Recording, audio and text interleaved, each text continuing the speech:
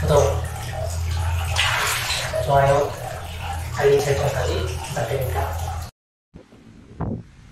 둘째 날 히츠지 가오카 컨트리 클럽에 왔습니다. 그럼 라운딩을 하고 돌아가겠습니다. 아, 거의 뭐 바람에 날아가는 소리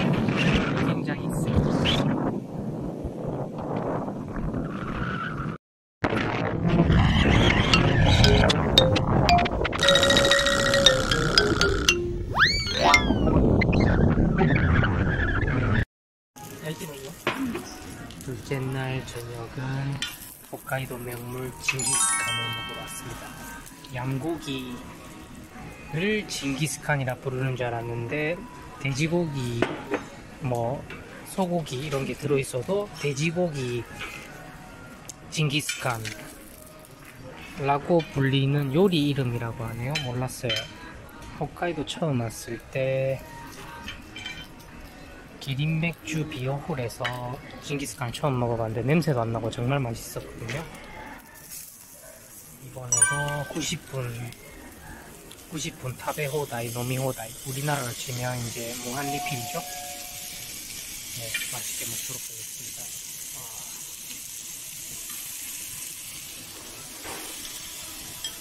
술은 여기가 아사히 맥주랑 연계되어 있는 것 같아요.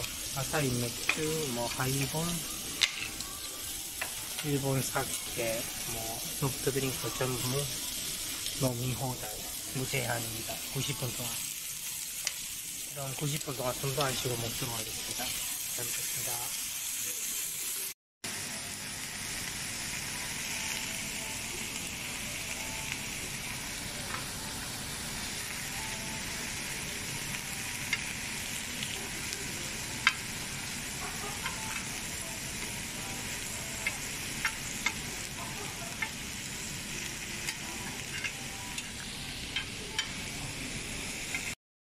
이렇게 야채와 무시야끼를 하는 것을 요리를 징기스칸이라고 부른다고 합니다. 이거는 한국에서 받은 청양고춧가루를 가져왔습니다. 막 뿌려서 스파이시하게 맛있게 먹겠습니다.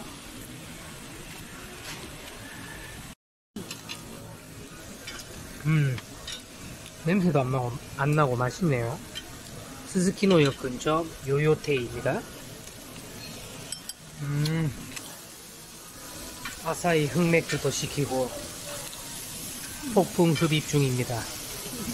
그룹폰 쿠폰 사이트에 한 사람 2,700에 2,700원에 이런 고퀄리티에 정말 아 맛있어요.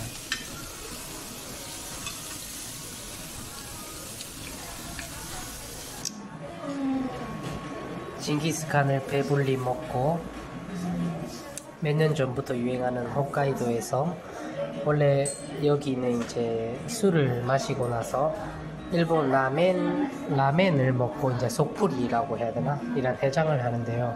몇 년 전부터 이제 시메파페라고 파르페를 되게 많이 먹는 것 같더라고요. 그래서 이제 구글 조사를 해서 여기 왔는데 시아와세 파페노 세카이에 요코소 짜잔. 메뉴 뭐 너무 예쁘네요. 저 처음 먹어보거든요. 네, 일반 커피숍 파르페인지 뭐 일단 먹어보도록 하겠습니다. 파르페 전문점입니다. 메뉴판도 너무 예뻐요. 이런 느낌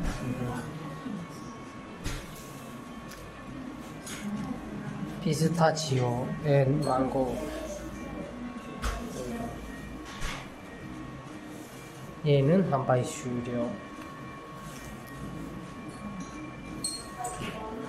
일단 먹어보도록 하겠습니다.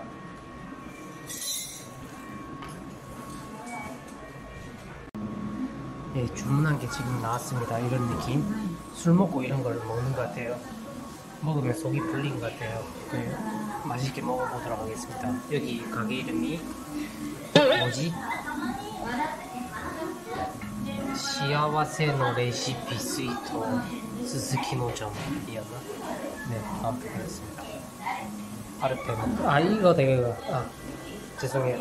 시아와세の 레시피 스위터 스즈키노점입니다. 파르페 전문점. 잘 먹겠습니다.